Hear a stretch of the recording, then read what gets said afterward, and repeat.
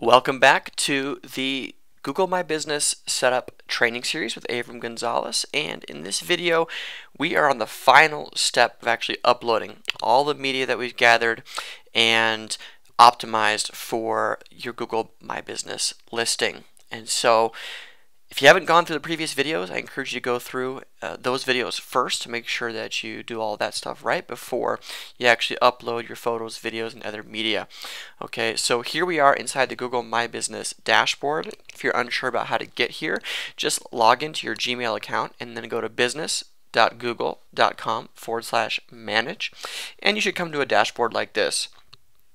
Click on the photo section down here on the left side panel and your screen should look something like this, especially if you haven't actually updated it with any information. Okay, so what I'm going to do here is we're just going to follow some of the prompts here, and then we're going to fill out these individual sections here with photos as we move through this short tutorial. So the cover photo, what we're going to do is we are going to take a photo from the business here and I've got them all lined up so we can easily do this uh, at least fairly quickly. I'm going to actually take this company banner. I'm going to throw this down here. Okay, and just like that, we have our cover photo complete.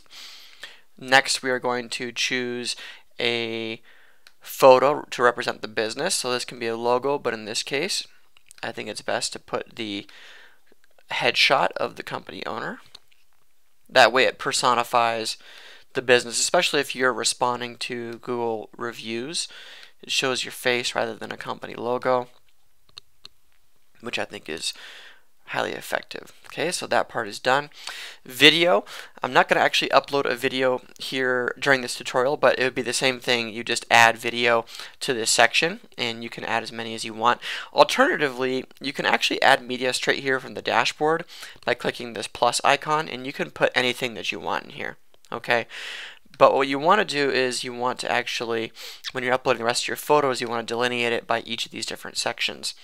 Okay, so what we're going to do here is we're going to click on the plus icon, select interior, click on plus. Let's go find all of the, uh, the interior photos. Okay, and we're making sure that, of course, we're uploading all of the geotagged photos that we did. If you're watching this video and haven't watched the other ones, you will not know what I'm talking about when I say geotagged, and you should go watch that video. So, uploading here. Just wait a moment.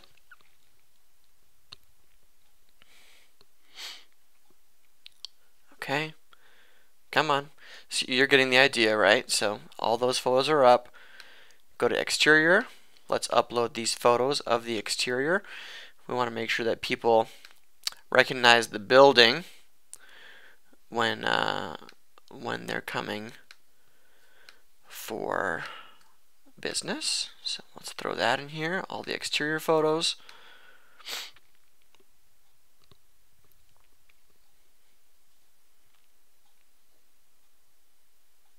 Okay, that part's done. At work, so since this has no pictures yet, it's going to say this instead. Um, but it's the same thing. If you click on the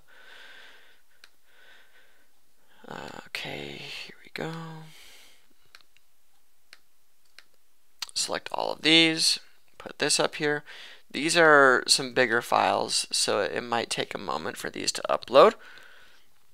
But you get the idea. You want to go through and upload each of the individual sections, and then any extra stuff, you can just go to the main overview section and upload stuff there. One of the areas that we don't have a lot for yet is team are waiting on some team photos here. Uh, but for now, what we're going to do is we're going to do, I saved this other photo um, of Tony here for this section. So instead of just the cropped headshot, we have the full torso and up shot. And then we'll add in photos of like his developer and uh, some of his other team members. Okay, and then so identity, this part is already done. It's already filled out. We did that on the front page. Like I said before, videos, uh, we don't have a video right now to upload, but you would do the same thing here. And then for 360 video and photo, what I would suggest doing is actually uploading it straight from the Google Street View app. Rather than doing it from here, it'll go a lot faster, especially if you're trying to get the photos off of the camera and and upload it here. You can just eliminate that whole entire step and you can just put it through um, you know, using the Google Street View app. So that's what I would suggest, and and that concludes really the the uploading portion of this section. So you went through all the steps, everything was optimized. You know, ultimately we want a few more photos. Uh, like I said before, 20 to 30. I think we have 18 here, so we're looking for a few more, maybe those teammates sections, and then the videos, and we will be all set here. Okay, so that is a wrap on the how to set up a Google My Business listing, at least optimize it the best way possible.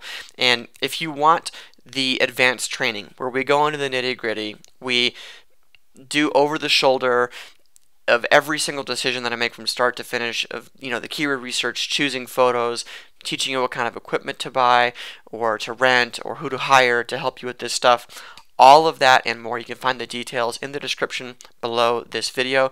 I think that'll be extremely helpful in you really getting the most bang for your buck out of the time, energy, and effort spent putting together a properly configured Google My Business listing. It's one of the fastest ways to get a return on investment using Google and SEO type strategies, and I couldn't recommend it more for the savvy business owner who wants to get more exposure online. Just do this process and look at your before and after, okay? And you'll be blown away by how many more people are finding your business as a result of actually doing this process. So, thank you for watching. Go ahead and check out the advanced training if you desire in the comments, uh, sorry, in the description below this video, and we'll catch you in a future video. Bye for now. Thanks for watching my video. If you got some value out of it, give it a thumbs up. Comment below if you have any questions. I'll do my best to answer them as quick as possible. And then click that subscribe button if you want to get updates for all of our new upcoming content that we're publishing every single day. I'll see you on the next video.